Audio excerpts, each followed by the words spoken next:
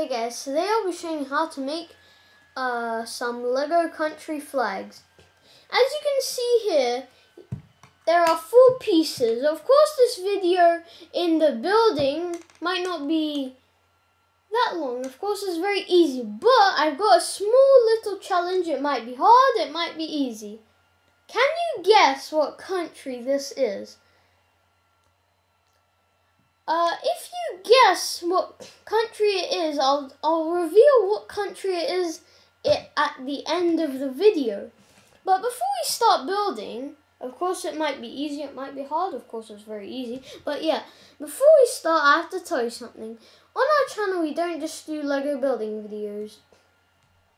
We do K'NEX building videos, Beyblade videos, K'NEX building, I mean Beyblade videos, we also have another channel, it's called Tube Gaming. We do gaming videos such as Minecraft, Cop and Robber, Roblox, Bloons, TD Battles, and Grand Empire of Rome. So let's start. Of course, um, this will be easy. Maybe you might live in this country, you might know this country, you might been in this country, but yeah.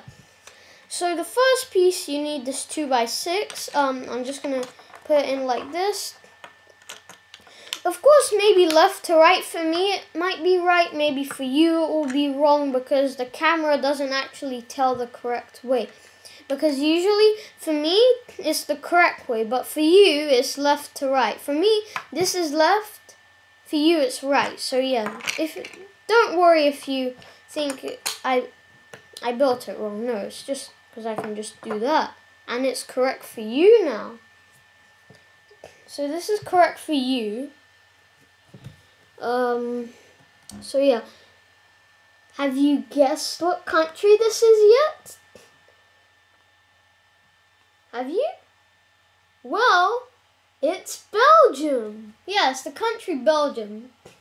Maybe some of you might thought it was Germany because Belgium and Germany have similar colors because the red on Belgium is not that reddish, of course. I nearly said reddish, but reddish. It's not that reddish as reds, but yeah. So uh, I think that could be it. I hope you guys like it. Subscribe to see my videos. Bye, guys.